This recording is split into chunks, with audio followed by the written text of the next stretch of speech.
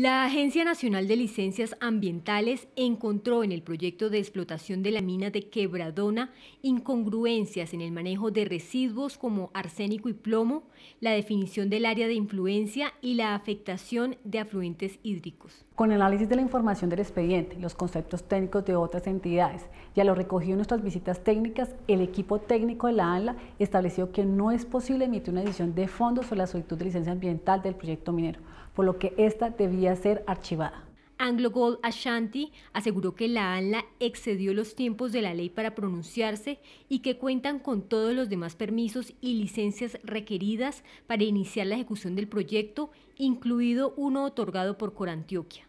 Tenemos la tranquilidad y el orgullo de contar con un estudio de impacto ambiental riguroso y exhaustivo, con análisis realizados con el acompañamiento de más de 27 firmas consultoras externas expertas durante más de 14 años, en un proceso juicioso y abierto de diálogo con las comunidades y distintos grupos de interés del proyecto Quebradona. Mandatarios regionales también se pronunciaron sobre esta decisión. La alcaldía de Jericó es respetuosa de las decisiones que tomen los organismos del Estado.